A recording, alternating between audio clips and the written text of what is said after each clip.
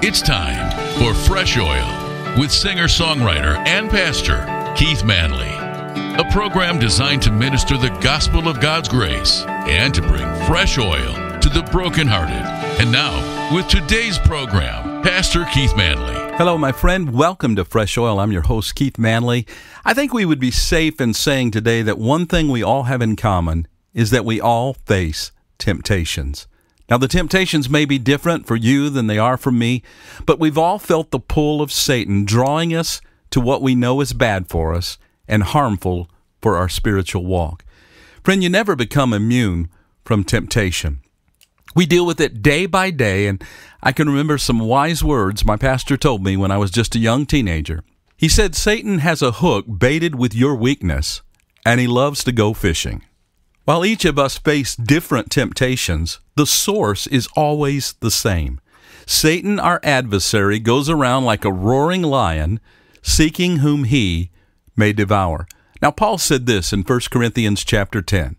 He says, Therefore, isn't it amazing how many times the, the, the, verses we read begin with therefore? I always say, when you see therefore, stop and see what it's there for. Therefore, let him who thinks he stands take heed that he does not fall. Because no temptation has overtaken you but such as is common to man. And God is faithful, and He will not allow you to be tempted beyond what you are able. But with the temptation, will provide the way of escape also, so that you will be able to endure it. I like that, friend.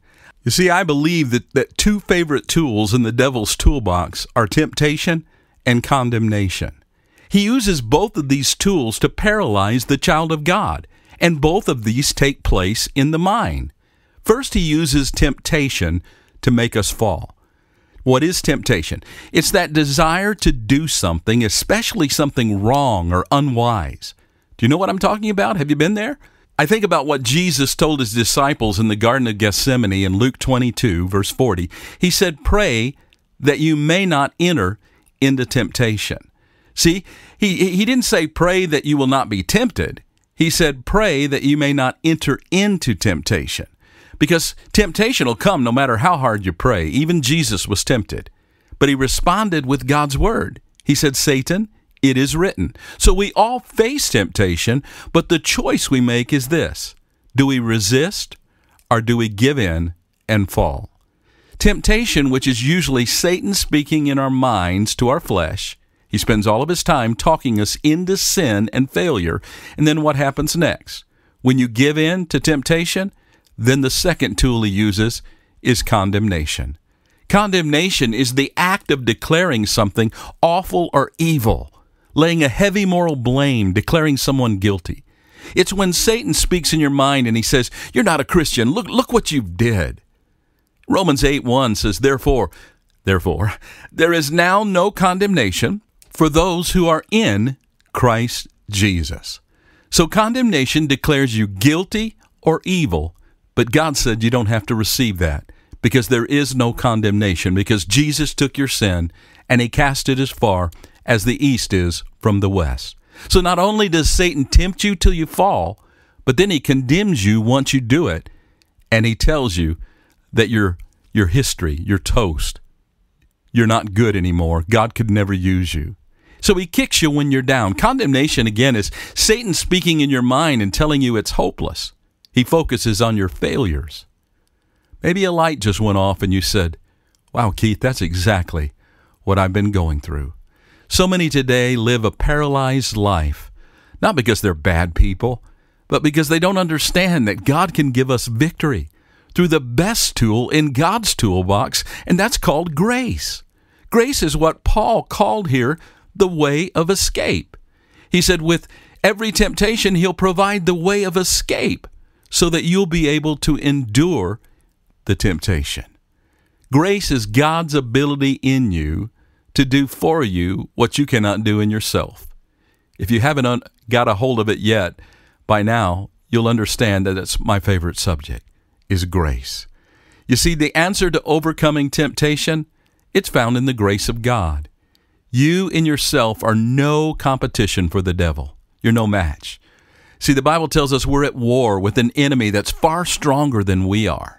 And he won't stop. He lies, he cheats, he doesn't play fair, and he will set your weakness right in front of you. He'll have a hook baited with your weakness and entice you to fail.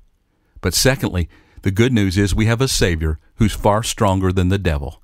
So we're at war with an enemy who's far stronger than we are. And secondly, we have a Savior who's far stronger than our enemy. And God has given us grace to help us stand. The armor of God He's given us to defeat all the efforts of Satan. We have to renew our minds and be in prayer and be in God's Word. Temptation is common to us all. In, in, in, Corinthians, he told us, No temptation hath overtaken you, but such as is common to man. So temptation is common to all of us. And Paul said here in our text, No temptation has seized you or overtaken you, but such is common to man. Think about it. From Genesis all the way to Revelation, the scripture proves out this point. Abraham lied about his wife. Noah got drunk. David committed adultery and then murder. Jonah rebelled against God. He, he, he ran away from God. Peter denied that he even knew Jesus.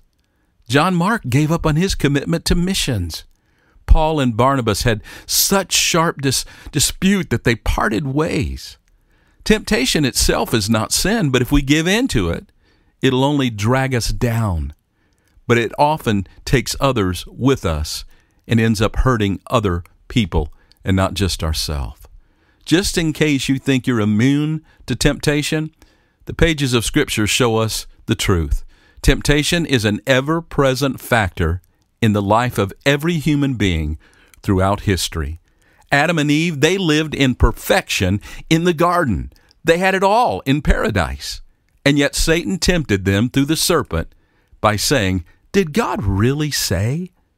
Joseph was tempted as Satan used Potiphar's wife, who had her eyes set on him, as her next conquest but he fled temptation and left his cloak behind.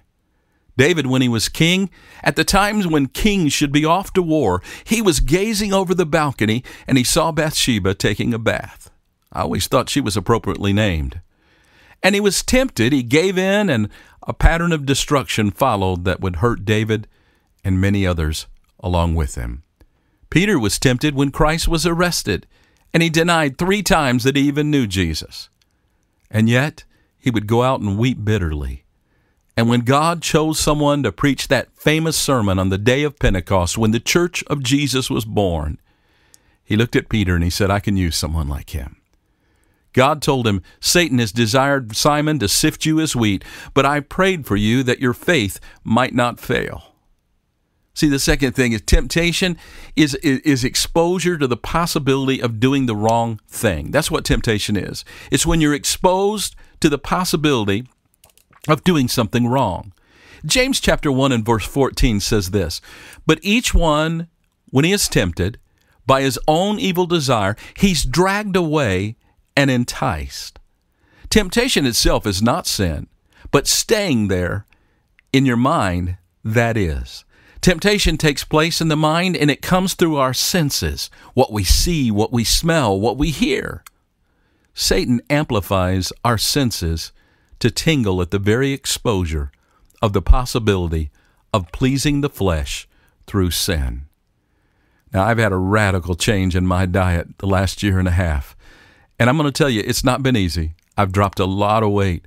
But I want to tell you that temptation is just as close away as a piece of chocolate cake to make all the work I've done just go away.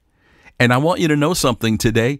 I have to make a decision every day that I'm going to eat healthy and not be allow the temptation of the devil to drag me back where I used to be. You know, Corinth was a seaport city, and, and, and as Paul's writing to them about temptation, when you read about this place, sexual sin was rampant in this city, and even the church, to the point of a man was having relations with his stepmother, and some of the church people were approving of it. And Paul wrote to them and he told them this is wrong. He, he, he said, Flee from sexual immorality. All other sins a man commits are outside his body, but he who sins sexually sins against his own body. Do you not know that your body is a temple of the Holy Spirit who is in you, whom you've received from God? You are not your own. You were bought at a price. Therefore, honor God with your body.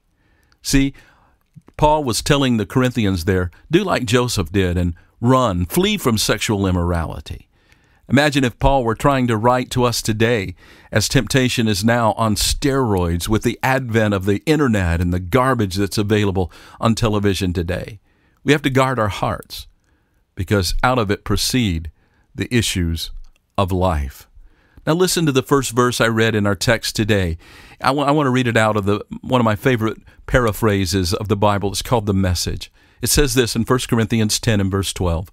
Don't be so naive and self confident. You're not exempt.